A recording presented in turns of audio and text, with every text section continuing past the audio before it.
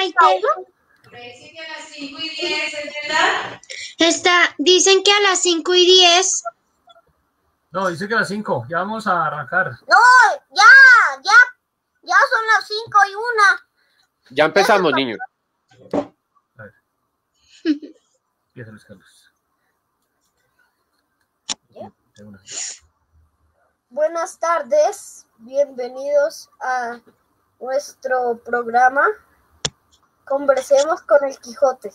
Soy Luis Carlos Carreño Niño, estudio segundo de primaria, tengo siete años y vivo en la ciudad de Bogotá. Saludo a mis compañeros y a nuestro invitado muy especial, Francisco Vera, líder ambientalista. Sigue, Maite. Sigue Maite. Buenas tardes a todos, yo me llamo Maite Barrera Vega, tengo 11 años, eh, eh, estoy en grado quinto y estudio en el Colegio Nueva Granada de Tunja y vivo en Tunja. Muchas gracias. Sigue Gabriela. Buenas tardes, mi nombre es Gabriela Rodríguez, tengo 11 años, vivo en Mesitas del Colegio, en un pueblito que queda como a una hora de Bogotá. Estuvo en el cole estudio en el colegio departamental en grado sexto y quería darle la bienvenida a Francisco. Buenas tardes. Buenas tardes. Francisco. Sigues tú. Muchas gracias, ¿cómo están todos? Es un gusto acompañarlos porque les digo que para mí es muy importante, se los digo realmente desde el corazón, poderlos conocer y poder compartir un espacio, así sea cortico, largo con ustedes, porque para mí siempre va a ser un gusto poder estar con ustedes. ¿Cómo se encuentran todos? Brasil. Yo estoy aplicando las tres R's. En mi casa y una es R's, reciclar, reducir y reutilizar.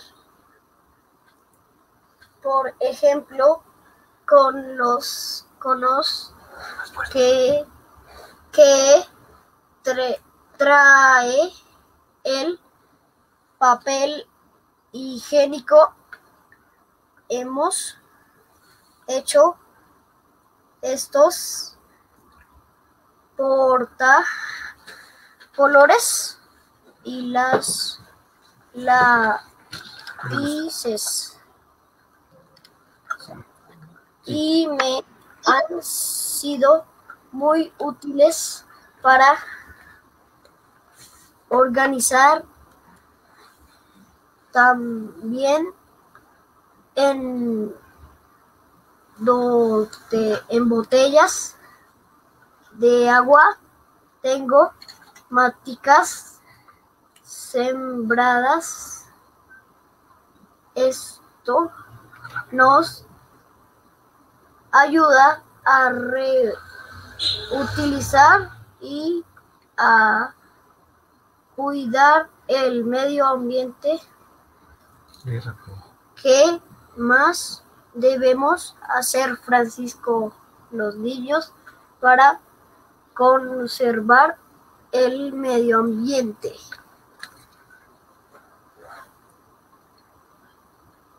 Yo creo que tan solo con lo que me acabaste de decir está toda una respuesta, pero creo que también yo le agregaría una pequeña cosita, que es el consumo ético. Por ejemplo, el, el consumo es de nuestro corazón, básicamente.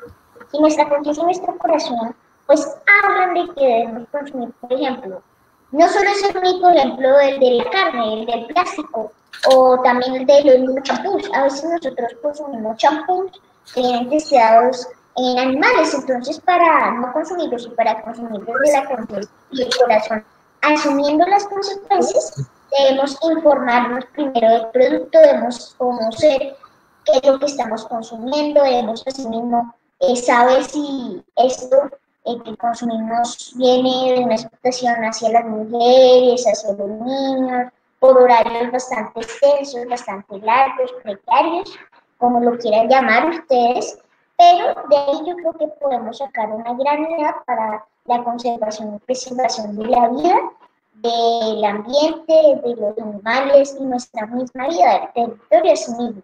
Pero yo creo que eso sería el consejo que le recomendaría. Sigue Maite. Bueno, la primera pregunta es, aparte del amor que... Más fuerte, Marte. Más fuerte Maite que casi no escuchamos. Eh, primera pregunta, aparte del amor por el medio ambiente y la naturaleza, Eh, Maite es que no se escucha. La tercera Aún sigue sin escucharse. Maite, es que creo que tienes el teléfono en, en tu mano y estás cubriendo el audio.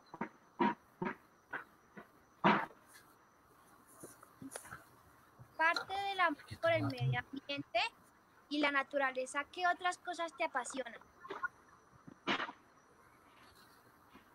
Bueno, pues parte de eso, a mí desde pequeño siempre me ha apasionado muchísimo, eh, digamos, un activismo en defensa de la vida en todas sus manifestaciones. Es decir, que mi activismo yo creo que se especializa en lo ambiental y, y en la defensa del territorio, del agua, de los ecosistemas, del páramo, por ejemplo, pero es mucho más integral, es decir, que aquí, pues yo creo que me llegan a apasionar sectores, causas sociales, eh, luchas así también eh, poblacionales de pronto para replantear, digamos, todo un modelo que nos ha llevado a crear mu- muchas expresiones que al final, asimismo, eh, han sido que hoy han desatado muchas problemáticas en nuestra sociedad, como ya muchos lo hemos escuchado, de pronto el racismo, el especismo, el machismo, muchas expresiones más, pero para,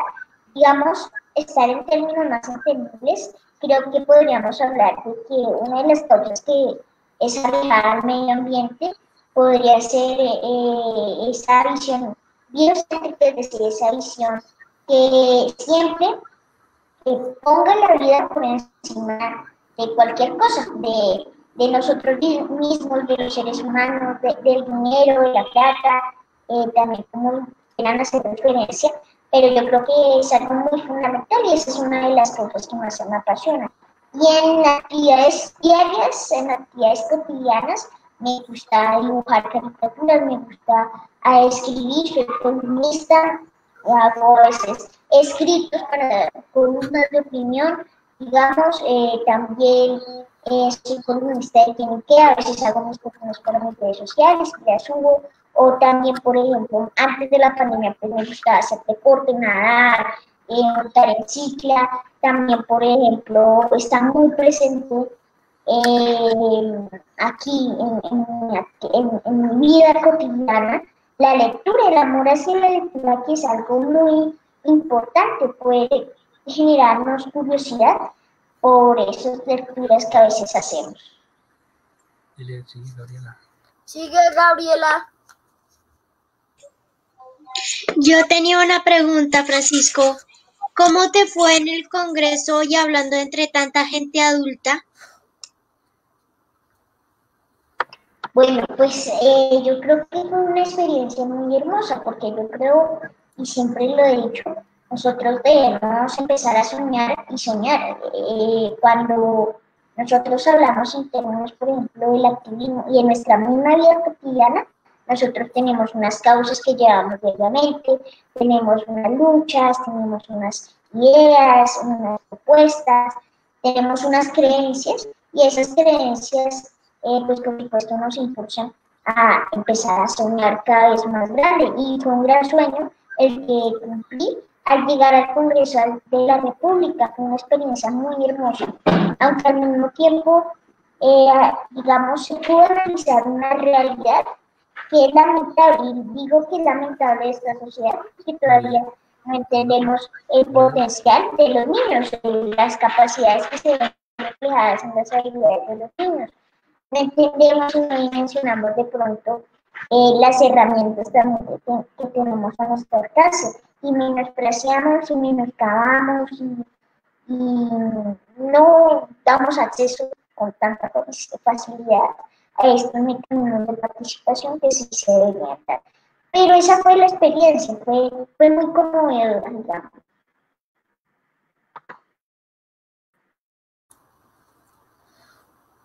Ahora un video que ahí los mandaron de Socha a unos niños.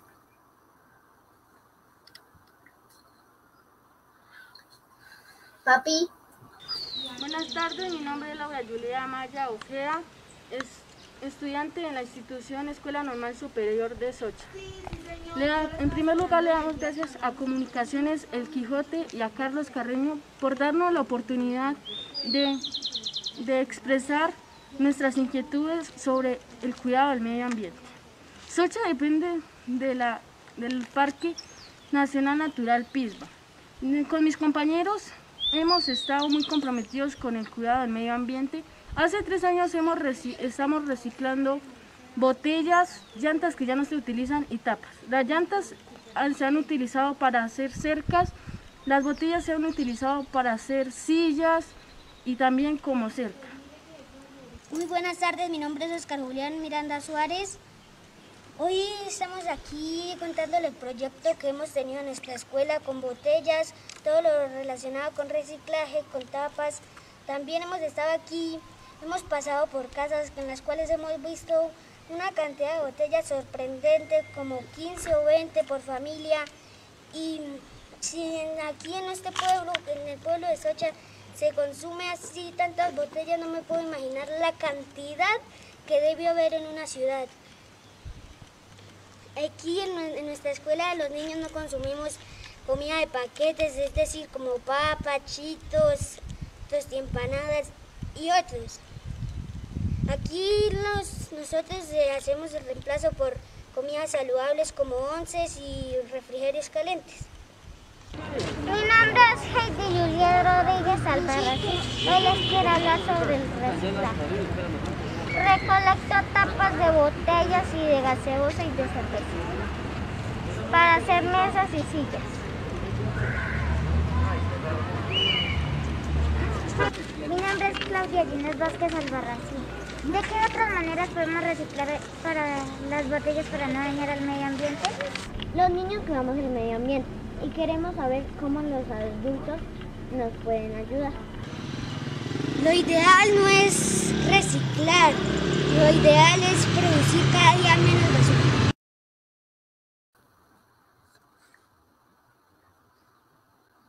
Francisco, ¿qué te pareció el video? Se terminó. Mira, mira, mira, me encantó, me encantó muchísimo porque cada niño, y es interesante, cada niño, no joven, niño, y otros y muchos jóvenes, participaron en el video contando este proceso. Y eso es lo que necesitamos, visibilizar esos procesos, esas iniciativas, esos liderazgos, visibilizar eh, la idea de, cada niño, básicamente. Me pareció excelente. Me gustó mucho lo que dijo al final, eh, no recuerdo el nombre, disculpen, eh, uno de los niños, donde él hacía referencia a que no es tanto reciclar, es dejar de producir y de consumir. Y por ahora, mientras paramos esa producción y ese consumo para tomar conciencia, debemos reciclar. Pero hay que principalmente indicar, eh, reducir, eh, acabar en un gran porcentaje, en una gran cantidad, precisamente esa producción y ese consumo. Pero me encantó todo el video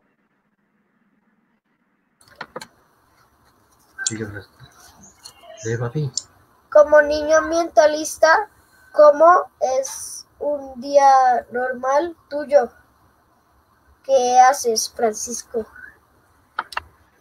Pues yo ahorita he nombrado una de las actividades y muchas de las actividades que tengo. Eh, me gusta de pronto en algunos momentos dibujar caricaturas, me gusta eh, de pronto como ustedes también les gusta jugar eh, videojuegos o ver videos de pronto también en YouTube, gameplays, eh, experiencias, eh, o de muchos youtubers, digamos. Entonces, son muchas actividades junto también al estudio, toda la mañana e incluso eh, por la tarde también le dedico muchísimo tiempo al estudio. Ahorita estamos finalizando el periodo y me han dejado bastantes trabajos, tareas. Eh, también, por supuesto, me gusta, pues, y me apasiona realmente, porque ustedes ven que lo hago con felicidad, con emoción, poder conocer a tantas personas, que es algo que me gusta el activismo. Y pues soy activista, por supuesto, en muchos espacios, vida, junto también al amor hacia la lectura, eh, también por supuesto con el deporte, pues en estos momentos, yo creo que tan solo sentarse a ver el paisaje y contemplarlo, admirarlo, ya está muy hermoso. Maite sigue. Bueno, segunda pregunta. ¿Cómo ha Dile más fuerte, Maite. Más fuerte, Maite, que nada se escucha, que no entiendo por qué no se escucha. ¿Cómo ha sido el acompañamiento de tus papás en proceso de liderazgo a favor del medio ambiente? Bueno, yo creo que no solo ha sido el de mis papás, ha sido el de toda la familia. Eh, pues obviamente, como acá, joven, acá niño, hacen un proceso de acompañamiento a sus padres y los apoyan en sus sueños, pero es mis papás también, mi familia. Mi abuela era la que corría detrás de las marchas de Guardianes por la Vida, cuando iniciamos con este proceso, con seis niños, eh, con pancartas por toda Villeta, con, sin megáfono, luego ahí pusimos un megáfono, sin bajes, sin micrófonos, vamos a generar esa conciencia ambiental en la ciudadanía, tomando unos espacios de incidencia política, de, de, de, participación ciudadana para pedir gobiernos que gobiernen para la vida, que es algo muy importante, un término muy importante. Y ese ha sido el acompañamiento de la familia, mi mamá, mi papá, desde que yo era pequeño siempre me incentivaron mucho a ese amor por, por la lectura. Entonces, por ejemplo, íbamos a la biblioteca y yo cogía los libros. Entonces, el libro que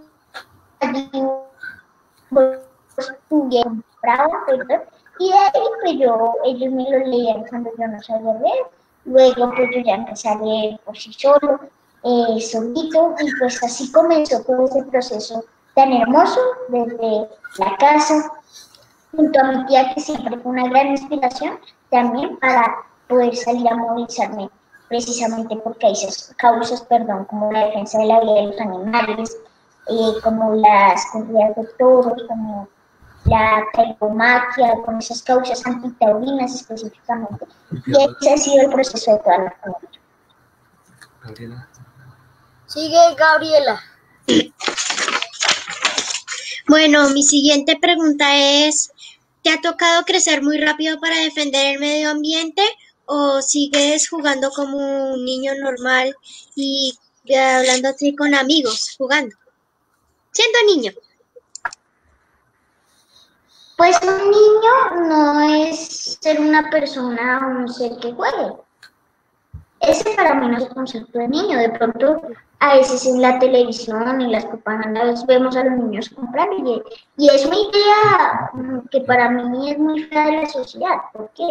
Porque yo creo que cada uno es libre, ¿sabes cuándo? Cuando tú haces algo que te llene de felicidad. Y la niñez está en la felicidad.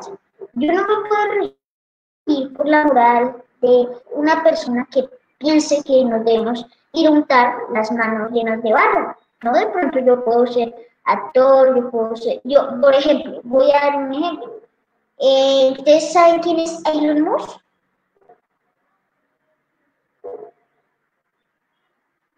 ¿No saben? Bueno, creo que no saben, pero Elon Musk es, es la primera persona que llegó a tener en el mundo eh, en su poder cohetes, que tiene muchas empresas, básicamente. Es un emprendedor, digámoslo así, un, un empresario, digamos. Aunque no estoy de acuerdo con muchas de sus ideas, pues simplemente pongo el ejemplo. A los 11 años empezó a programar. Yo hoy en vez de latir no puedo estar programando porque es algo que me vuelve feliz. De pronto conocer a personas a través de una pantalla es algo que me vuelve feliz. Entonces, la niñez no simplemente se rige a partir de que una persona diga que ser niño es jugar y hablar con los demás. Por supuesto, esa es la vida entera. Pero yo creo que cada uno disfruta la libertad, como lo dije, y ese concepto de la libertad haciendo lo que ama. La libertad no es decir yo me voy de la casa porque sí, chao, cojo la maleta y me voy. No, la libertad es hacerlo porque lo amo, porque me apasiona, porque me llena de felicidad, porque la vida sea minuto a minuto y debemos aprovecharla, debemos aprovecharla y disfrutarla con felicidad. Francisco, una pregunta. ¿Cuántos años tienes? Yo tengo 11 años. ¿11? Sí. ¿Dónde vives? ¿Señor? ¿Dónde vives? No, pues yo vivo en Cundinamarca. Maite. Sigue Maite. Eh, bueno, mi tercera pregunta, ¿cómo, alter- ¿cómo alternas tus clases del colegio con el liderazgo por el medio ambiente? Bueno, ¿cómo alterno mis clases del colegio con liderazgo mental? No, no creo que influya completamente mm, en, en nada. Yo creo que pues en realidad le sigo dedicando mucho más tiempo a- al colegio y es muy importante poder estudiar, pero en sí alternarlas es repartir los horarios, digamos, por las mañanas como lo dije y por las tardes hago las tareas, por las mañanas, toda, toda la mañana tengo las clases y por el descanso mientras, eh, pues me pongo a jugar de pronto, si quiero, o si quiero ir adelantando tareitas, por ejemplo, eh, algún trabajo que me hayan dejado. Entonces así, digamos, así yo lo alterno.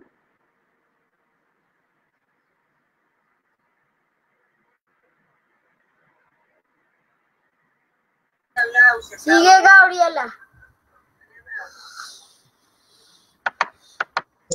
Eh, bueno, yo te quería preguntar si te reúnes como con grupos ambientalistas, ambientales como yo y, y que puedes invitar a hacer a los niños y adultos para cuidar el medio ambiente más.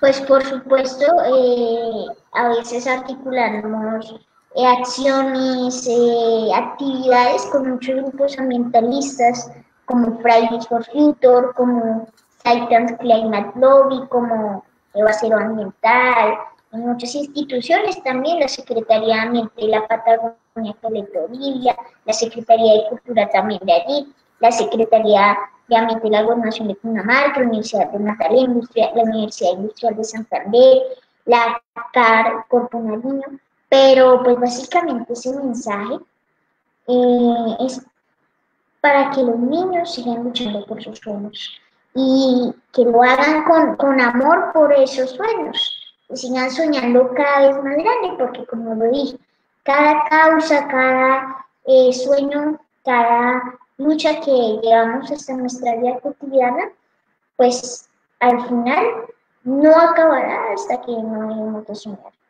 Entonces es básicamente ese el mensaje, a que sigan y sigan soñando en grande.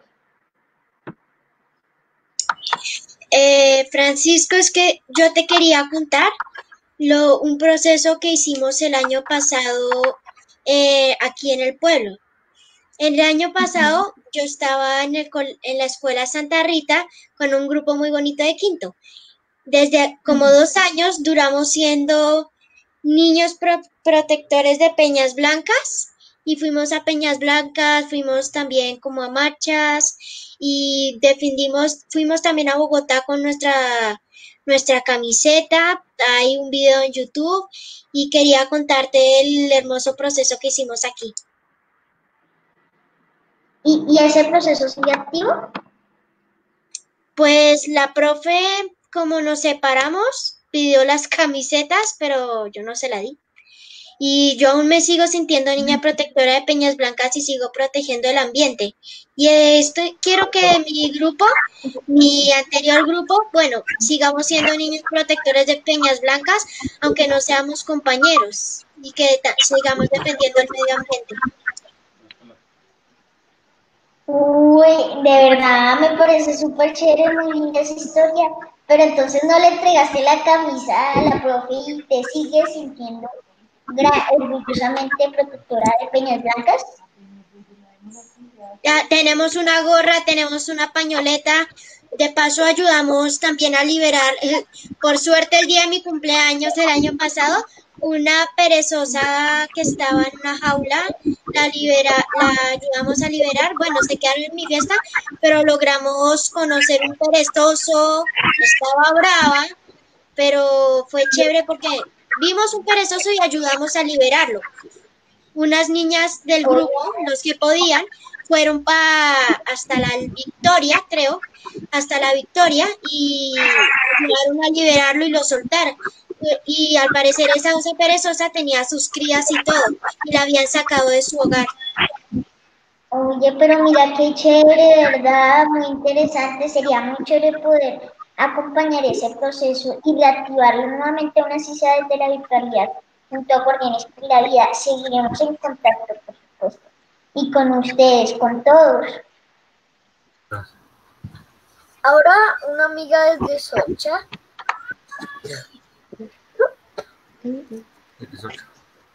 Y cuéntanos tu experiencia. Buenas tardes, mi nombre es Laura Julia Maya Ojeda. Pues nosotros en la escuela hemos reci- hemos reciclado. Pero, ¿cómo llegó a ser líder ambiental? Para el invitado especial. Para el invitado especial, la pregunta. Bueno, pues uno llega a ser líder ambiental eh, y, más allá de líder ambiental, defensor de la vida en todas sus manifestaciones, yo creería que fue al conocer el territorio, al relacionarnos con el territorio, al, al voltear hacia allá están las montañas, hacia allá, a- alrededor están los árboles y pájaros y es un entorno un contexto muy hermoso para conocerlo y así para amarlo. Cuando tú empiezas a vivir aventuras, a vivir experiencias con eso que conoces, con eso que está al lado tuyo, tú lo empiezas a amar, tú lo empiezas a defender cuando lo amas. Y un ejemplo muy claro está en la familia. Tú amas a tu familia porque has vivido con ella, porque has vivido experiencias muy hermosas, porque la quieres, porque la amas, porque es tu familia, porque es tu mamá, porque es tu papá, tu abuelo, bueno, y por muchas razones más. Pero, por supuesto, en todo momento como tú la amas, tú la vas a defender y tú estás dispuesto a defender. Entonces, así llegué a ser líder eh, o defensor de la vida. Eh, niña Socha, eh, ¿cómo se llama tu colegio? Eh, mi colegio se llama Escuela Normal Superior de Sochi.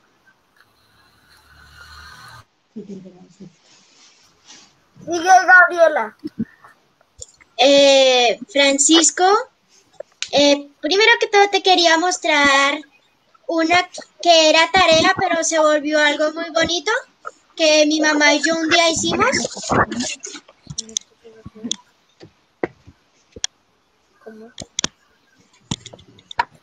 Un carrito de la infancia de mi mamá, una llanta sin usar, unas tablas y una mesa de- que se rompió de mi infancia. Y pensábamos botarlo a la basura, pero Ay, qué esa tarea, ahora es mi mes, una mesa. Es inestable, pero sirve para apoyar muchas cosas y pienso hacer, seguir haciendo cosas así. De paso, creo que ya no tengo espacio para seguir escondiendo las botellas de mi abuela. Ay, mira qué chévere, me parece súper chévere que, por ejemplo, también como eh, lo están haciendo todos ustedes, puedan, eh, digamos, crear, eso ya tiene un nombre, economía circular, esos procesos desde sus casas. Uno desde su casa puede crear un proceso de economía circular reciclando ese tipo de, mesas, por ejemplo, que consideramos que ya son basura o residuos, eh, llantas y muchas cosas más que al final eh, nos sirven para reciclar.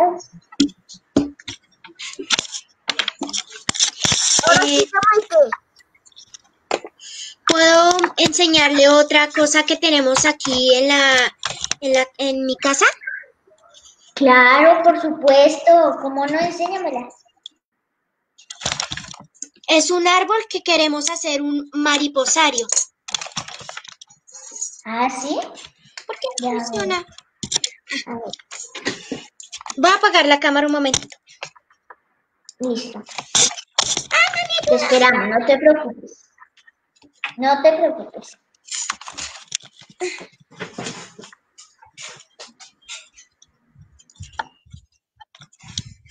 El mariposario.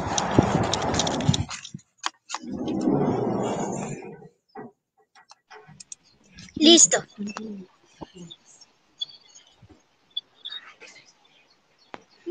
¡Ay, qué lindo! Pero es, ¿qué tan, qué tan alto es? Como cuatro Gabrielas. ¿Cuánto de alto es, Ma? Siete metros. Y por ahora lo estamos tapando por la cuarentena, pero queremos hacer un lindo mariposario. Uy, es muy hermoso. ¿Y cómo es la estructura? Mamá, ven. Yo de esto no sé, mamá. Hola. Me metí, Hola, estoy en ¿cómo Perretitos. Le contamos. Bueno, es que esta casa se llama la Casa de la Cigarra y está dedicada a los insectos. Sí. Porque el que, el que respeta un insecto, ¿qué te parece este pensamiento? El que respeta un insecto puede respetar cualquier ser eh, vivo, ¿verdad? Ay, aunque las gatas no Sí, sí, lo amamos primero. Para Y, cuidar o proteger algo, creo que hay que primero amarlo. Y el año pasado y antepasado nos dimos a una tarea de hacer un mil mi amor, un mural con tapas plásticas y conseguimos más de ocho mil tapas y aquí estamos para empezar aquí bajando a hacer el mural y también las tapas para no contaminar el planeta en todo el muro y seguimos reco- recolectando. En este tiempo prestamos algunas, pero pensamos pues que para final de la cuarentena ya tendremos todo esto ya listo. ¿Y será que si te caen las tapas? que si me caben las tapas. Duramos dos años, yo con, salía con una cajita, decía tapas aquí y tienda por tienda iba pasando. Uy, pero es que eso es un proceso de mucho tiempo y de verdad mi admiración total hacia, usted- hacia ustedes. Muchas La casa reiniciando, eso. más por una obra de teatro que inició mi mamá.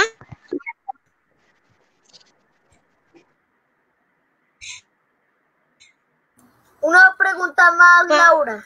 para- porque como yo tengo problemas, ella hizo una obra. ¿Qué pasó? ¿Qué me pasó?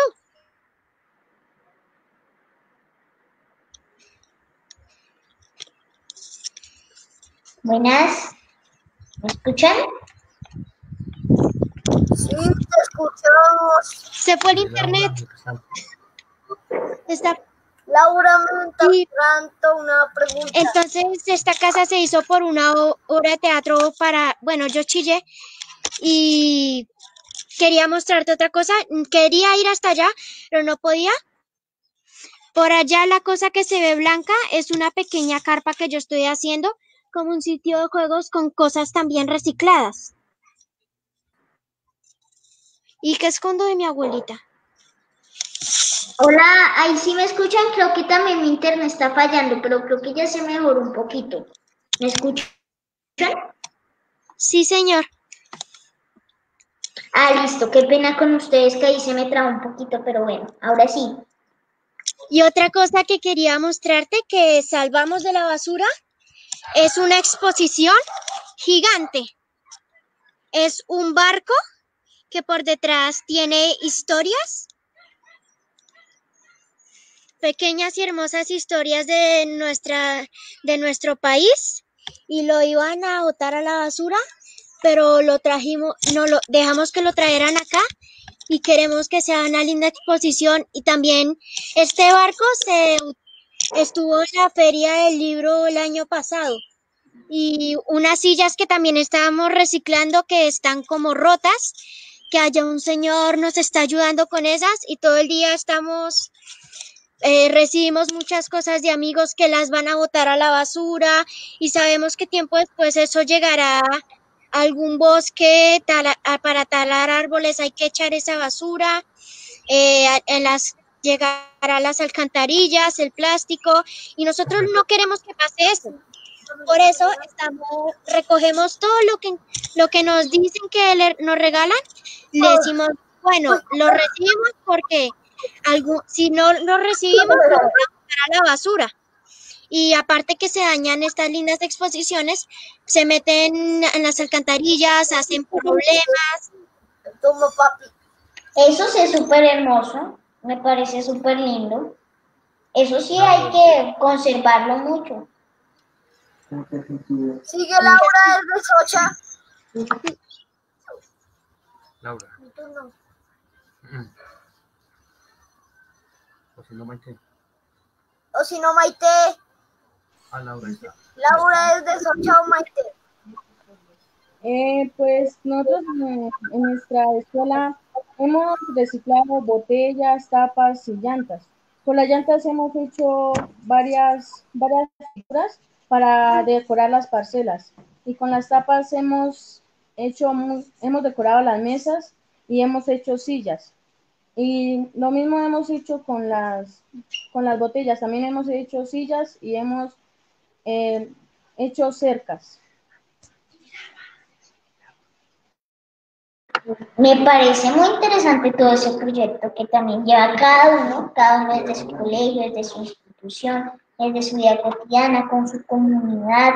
Por ejemplo, también conozco un proyecto que se llama Pachamama, que trabaja con el compostaje y tiene unas pacas compostoras y ya está reciclando, en cierto sentido, a través del compostaje, eh, nueve toneladas de residuos de una comunidad. Imagínense, es un gran ahorro para muchos municipios y así esos residuos, por ejemplo, que quedan alrededor de las ciudades no, no llegarán a los rellenos sanitarios, por ejemplo. Una última pregunta, Maite. Una última pregunta, Maite.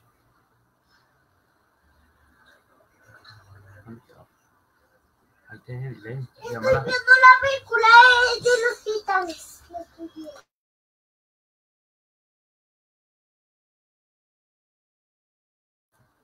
Gabriela, la palabra. La pregunta es, Eh, bueno, también quería darte gracias por estar y pensar mostrar lo que habíamos, lo que hemos reciclado, pero para luego. Sí, no te preocupes. Todo esto. Re chévere, re bacano, hay que Sigue decirlo más así. por allá, sigue más por allá. Hay que conocerlo. En otros momentos lo conoceremos. Y a- Maite, una última pregunta. Si ven acá, no. ¿Qué hace? Última pregunta, Laura.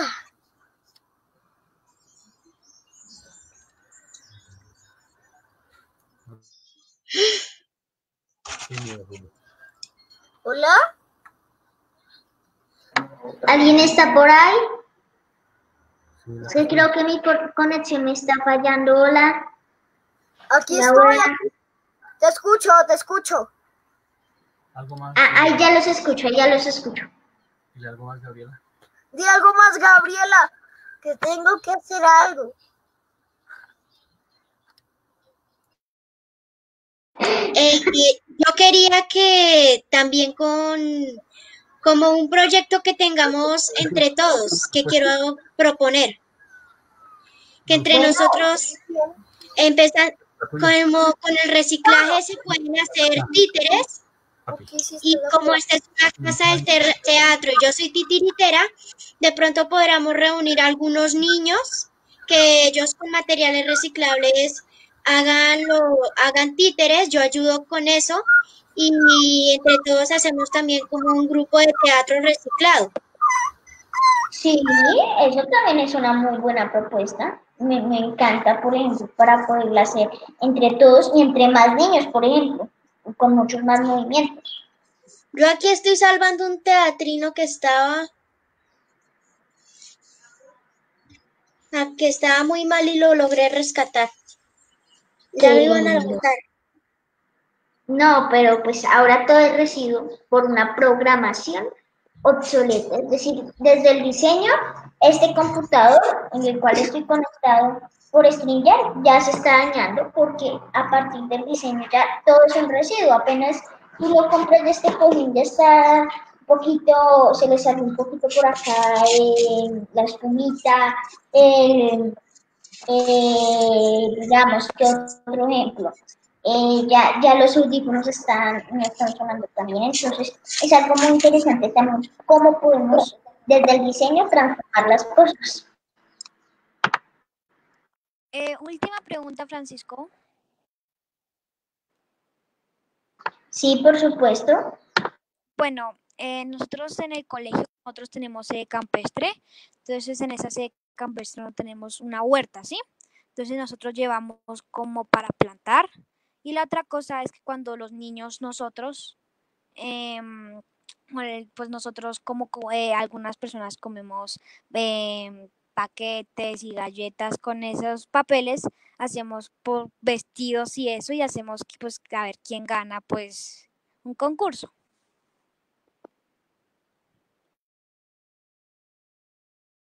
Ese proyecto también, cada proyecto que el día de hoy vi en cada video de cada uno de ustedes me mostró, me contó, me ha encantado, me estoy sorprendido. Miren que por ejemplo por el chat nos dice Hilda María Moreno, wow, por ejemplo, están sorprendidos.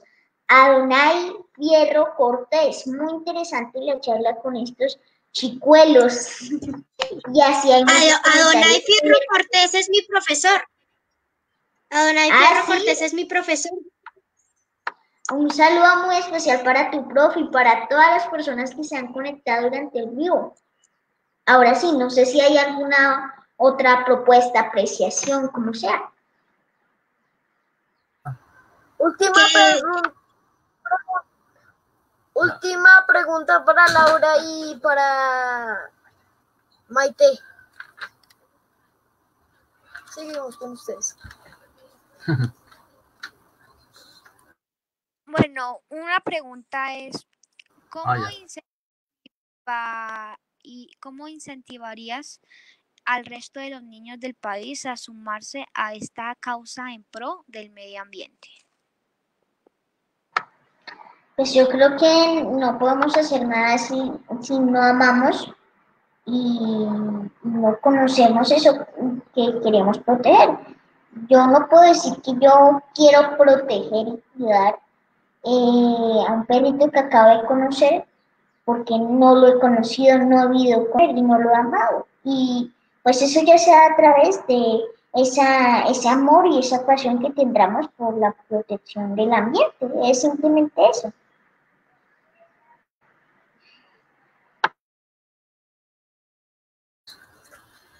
Gabriela, ¿algo más?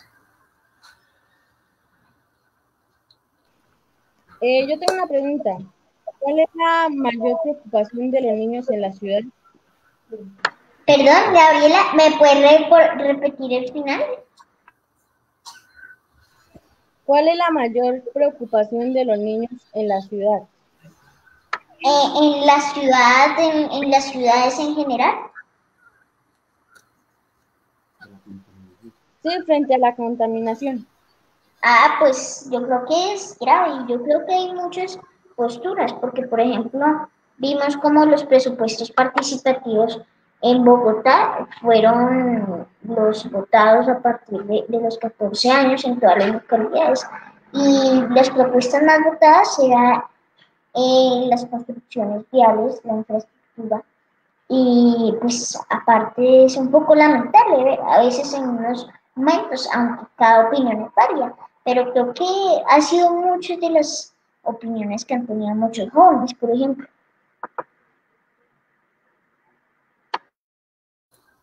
¿Y algo más, Gabriela?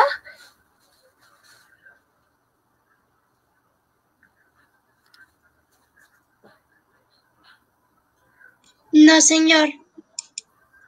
Ok. Ahora sí, lee. Tú, este. Francisco. ¿Algo más, Francisco, para agregar? No, no, señor. Ahí estrella. Aquí está la despedida. Gracias a todas y todos quienes nos hayan acompañado el día de hoy. Gracias, Francisco, por estar acá y contarnos sus experiencias. Nos veremos en un nuevo programa. Conversemos con el Quijote. Chao, chao. Feliz noche y no olviden de, de cada casa cuidar el medio ambiente es por nuestro futuro. Ya. Chao. Chao a todos y todas. Chao, muchas gracias. Muchas bendiciones. Chao, muchas gracias por la invitación. Chao, muchas gracias por el